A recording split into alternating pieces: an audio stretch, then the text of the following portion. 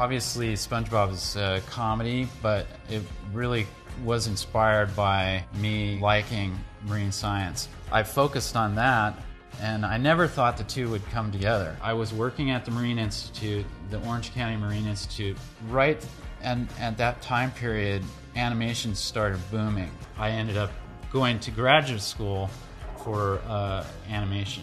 It started me thinking if I'm going to do a show, I would do it about these invertebrates and these crazy animals that exist in the ocean, and it would be the perfect fusion of the things that I did. It, it was that moment where I said, maybe I should pursue this, you know, go down this path.